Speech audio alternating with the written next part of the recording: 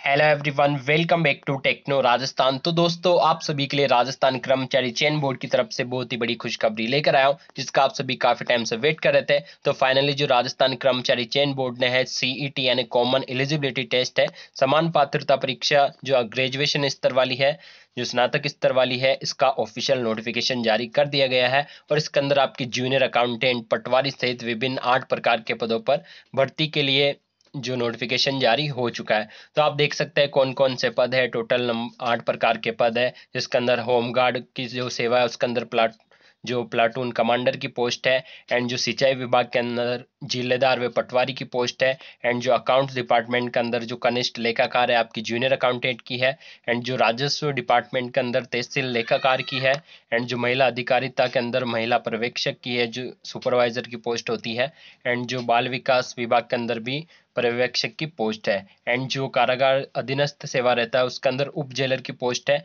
And जो समाज कल्याण विभाग की छात्रवाद अधीक्षक सेकेंड ग्रेड की पोस्ट है। ठीक है?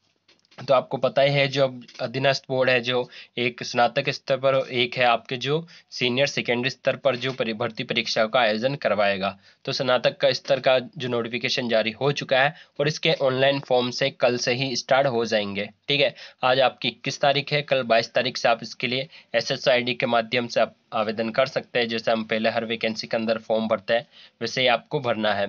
फ़ीस भी वही है, सामान्य व क्रीमिलियर ओबीसी एमबीसी के लिए चार सौ पचास रुपये है एंड जो नॉन क्रीमिलियर है ओबीसी एमबीसी उनके तीन सौ पचास रुपये S C S T P H candidates and जिनकी पारिवारिक आय ढाई लाख रुपये से कम या उसके इक्वल है, उसकी ढाई सौ रुपये फ़ीस रखी गई है। ठीक है? तो अब बात करें पोस्ट कितनी है।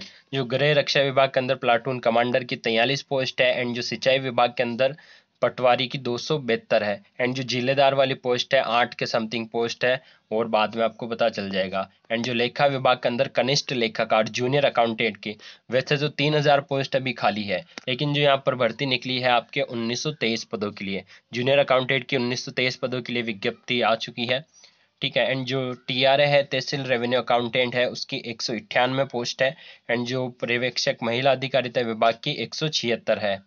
ठीक है, एंड जो कारागार विभाग के अंदर उप जेलर की फोर्टी नाइन उनपचास पोस्ट है, एंड जो हॉस्टल सुप्रिटेंडेंट है, जो छात्रावास अधीक्षक है, इसकी तीन सौ पैंतीस पोस्ट है। ठीक है तो आप ये देख सकते हैं पदों की संख्या है, एंड जो स्नातक स्तर पर रहने वाली ये भर्ती तो जिन, जिन्होंने भी स्नातक कर रखा है, वो इन सभी के लिए आवेदन कर सकते हैं। तो जो आपकी वुमेन सुपर सुपरवाइजर वाली पोस्ट है तो इसके अंदर स्नातक ही रखी गई है। एंड जो जन संसाधन वाली पोस्ट है, पटवारी की तो इसके अंदर भी स्नातक ही रखी गई है। ठीक है, स्नातक या जो फाइनल ईयर वाला है, वो भी अप्लाई कर सकता है। एंड साथ ही में आपके पास आर एस या फिर कंप्यूटर कोर्स होना चाहिए, जो यहाँ पे दे रखा है। इनमें से मान्यता प्राप्त कंप्यूटर कोर्स आपके पास होना चाहिए। एंड जो जिलेदार की पोस्ट के अंदर भी स्नातक की डिग्री रखी गई है एंड जो प्लाटून कमांडर के अंदर भी स्नातक, यानी जो ग्रेजुएशन की डिग्री या उसके इक्वल फाइनल ईयर वाले भी अप्लाई कर सकता है। एंड जो आपके तहसील राजस्व लेखाकार वाली भर्ती है, इसके अंदर आपके पास स्नातक की डिग्री होनी चाहिए। पहले कॉमर्स वाले डिमांड कर रहे थे कि सिर्फ़ कॉमर्स वालों को ही लिया जाए, लेकिन नोटिफिकेशन के अंदर ऐसा नहीं है, जिन्होंने भी ग्रेजुएशन कर रखी है, वो सभी जो टी आर है, तहसील रेवेन्यू अकाउंटेड है एंड जो जूनियर अकाउंटेड है, कनिष्ठ लेखाकार, दोनों के अंदर स्नातक वाले अप्लाई कर सकते हैं। ज़रूरी नहीं कि अगर आपके पास कॉमर्स है तो ही आप अप्लाई कर सकते हैं। तो यहाँ पर कॉमर्स वालों के लिए नुकसान है क्योंकि सभी categories B A B com B tech सभी यहाँ पर अप्लाई कर सकते हैं। ठीक है? एंड कारागार विभाग के अंदर भी स्नातक की रखी गई है। एंड जो पर्यवेक्षक की पोस्ट है उसमें भी स्नातक है। समाज न्याय अधिकारिता विभाग के अंदर जो हॉस्टल वार्डन है, छात्रावास अधीक्षक की तो इसमें भी स्नातक रखी गई है। ठीक है? तो इसके अंदर जो आप देख सकते हैं फाइनल ईयर वाले भी अप्लाई कर सकते हैं। एंड एज लिमिट आपकी यहाँ पर अलग अलग दे रखी है, जैसा कि यहाँ पर ऊपर दे रखा है, ठीक है? तो इसमें एज लिमिट आप यहाँ पे एक बार फिर से बता देता हूँ।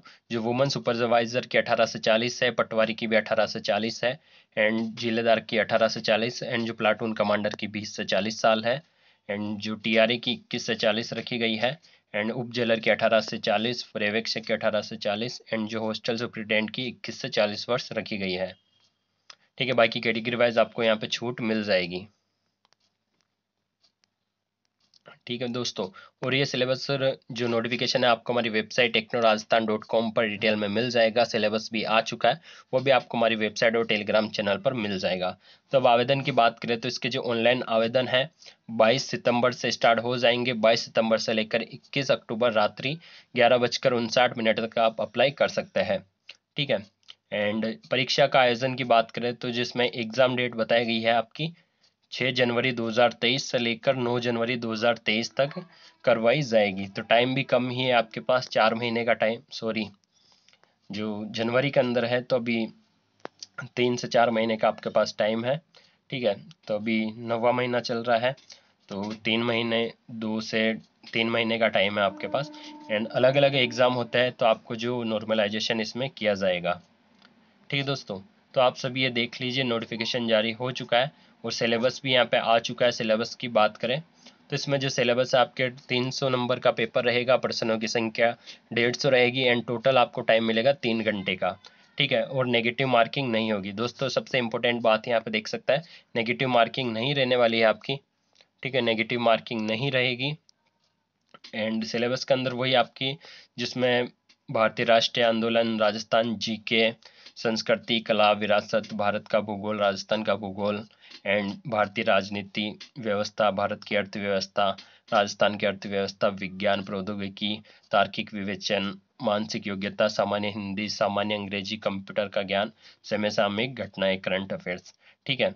तो ये आपको सिलेबस एक बार देख लीजिएगा शॉर्ट में मैं आपको बता रहा हूँ और आपको हमारी वेबसाइट पर भी मिल जाएगा।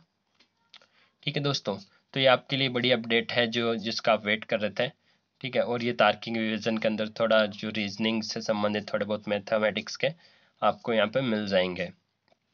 सामान्य हिंदी के अंदर वही आपकी जी के इंग्लिश के अंदर सॉरी सामान्य हिंदी के अंदर जो आपकी ग्रामर रहती है, उसी से संबंधित है। एंड जो इंग्लिश के अंदर भी ग्रामर से संबंधित आपको टॉपिक मिल जाएँगे। एंड कंप्यूटर के अंदर ये थोड़े बहुत टॉपिक दे रखे हैं। एंड करंट अफेयर्स जो ही आपको national level international level state level and जो भी योजनाएँ हैं, खेल कूद से संबंधित, आपको अपनी तैयारी करनी है। ठीक है दोस्तों तो ये नोटिफिकेशन जारी हो चुका है समान पात्रता परीक्षा का। तो इसी के आधार पर आपको जो अब इन वैकेंसी के अंदर ज्वाइनिंग मिलने वाली है। ठीक है तो टोटल आठ प्रकार के पदों पर भर्ती आ चुकी है। जूनियर अकाउंटेंट पटवारी एंड आपके प्लाटून कमांडर हो गया, महिला सुपरवाइज़र वाली पोस्ट हो गई, ठीक है?